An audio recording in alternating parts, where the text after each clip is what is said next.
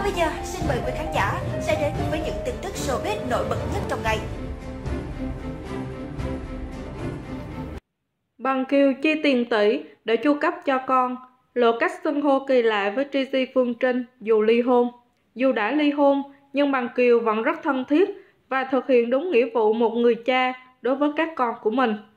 Những ngày gần đây, thông tin Bằng Kiều chính thức lên bố lần thứ tư khiến dân tình không khỏi bất ngờ. Bên cạnh đó, mối quan hệ giữa anh và vợ cũ Trizy Phương Trinh cũng được nhiều người tò mò. Được biết Bằng Kiều và Trizy Phương Trinh là cặp đôi chênh lệch tuổi khá lớn. Khi nam ca sĩ 27 tuổi, Phương Trinh đã hơn anh 7 tuổi.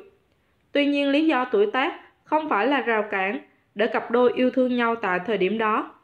Sau hơn 2 năm hẹn hò, cặp đôi tiến tới hôn nhân vào tháng 9 2002. Tuy nhiên sau 10 năm bên nhau, Bằng Kiều và Trizy Phương Trinh tuyên bố ly hôn trong sự ngỡ ngàng của khán giả. Dù đường ai nấy đi, nhưng Trizy Phương Trinh cũng như Bằng Kiều đều tôn trọng đối phương và không hề lên tiếng trách móc nữa còn lại.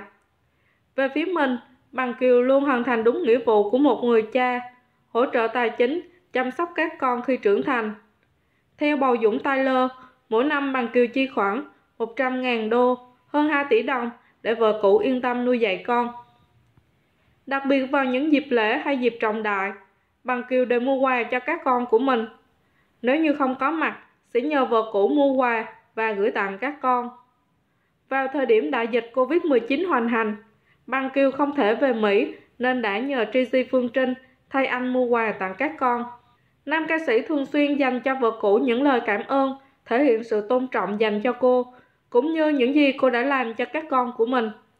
Bằng Kiều và Tracy Phương Trinh dù ly dị nhưng vẫn gọi nhau với những danh xưng như ông bạn, bà bạn một cách thân thiết, trân trọng. Vào ngày sinh nhật con trai, Bằng Kiều đã nhắn nhủ tới vợ cũ. Cảm ơn bà bạn Tracy Phương Trinh đã nuôi nấng dạy dỗ và chăm sóc các con ngoan ngoãn khỏe mạnh. Với người bình thường thì một đứa con đã là khó khăn để nuôi dạy. Đây những ba ông thì chỉ có là super mom mới làm được.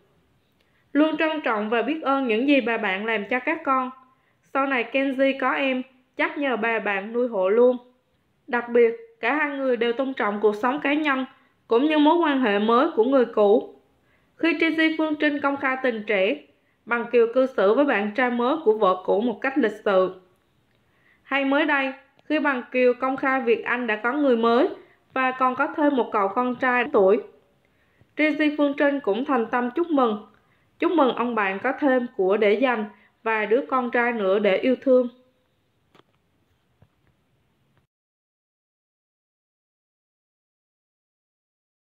đây là kết thúc.